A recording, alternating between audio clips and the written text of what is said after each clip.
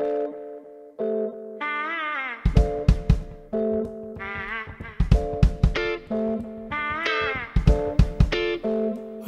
I've seen that look before. Guilty eyes walking out the door. Plotting overall feeling of the Viva Big Bend Festival is just joy. the writing, the, the quality of the musicians, their expertise, their craft.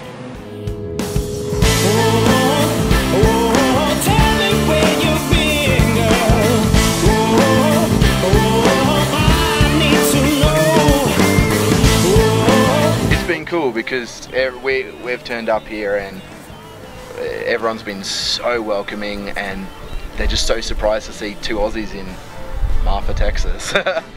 I said to Andrew on the way in, I felt like I was in Dancing with Wolves.